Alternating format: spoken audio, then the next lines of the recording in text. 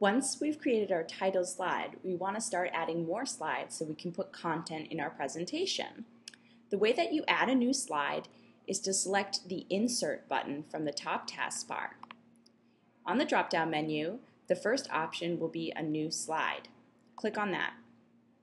You have several layouts you can choose from. You have to decide what layout you like and what kind of content goes on the slide. You can do a blank slide and add your own text box, or title box or whatever you want to it. But I'm going to select the standard second option, which has a title at the top and a text box at the bottom. Now you can see that I have my second slide. I can add a title and add content.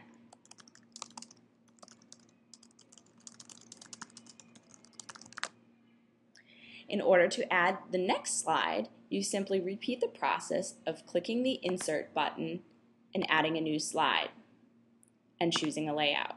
As you can see, I can click back to any of my old slides by using the left-hand side of the page, and as I add new slides, they will appear here.